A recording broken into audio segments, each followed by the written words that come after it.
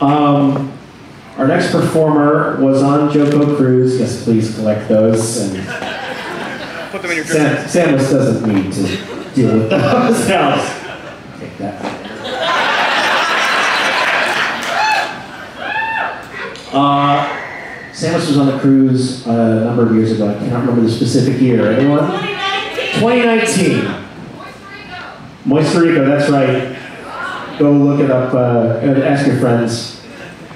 Uh, and I, uh, I have to admit, I was not very familiar uh, with her work, but uh, I and everyone on the ship were just totally blown away. We knew we had to have her back sooner or later, and later is now sooner. Uh, in the interim, since that last performance, Sam has gotten her PhD,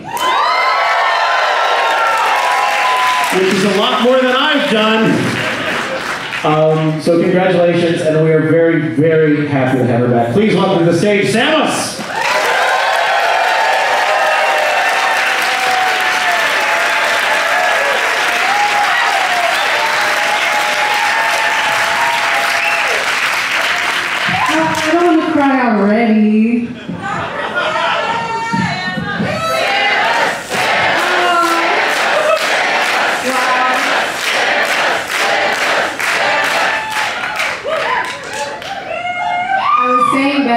Backstage, everyone looks so grown and sexy today, and I look like a cult leader. Um, which is great because you all chant so much. So perfect. This is awesome. And I did a, a hypnotizing workshop.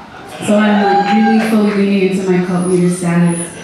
Um, so this first track is about complexity, about being a com- complex human being, which we all are.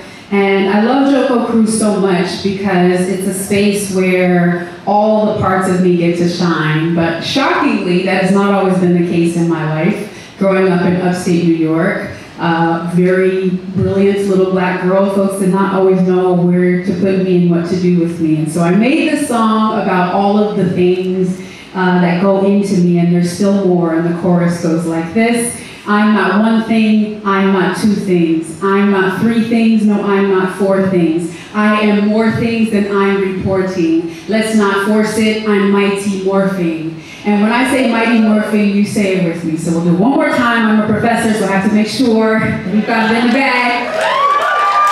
I'm not one thing, I'm not two things. I'm not three things, no, I'm not four things. I am more things than I'm reporting. Let's not force it, I'm. Wow!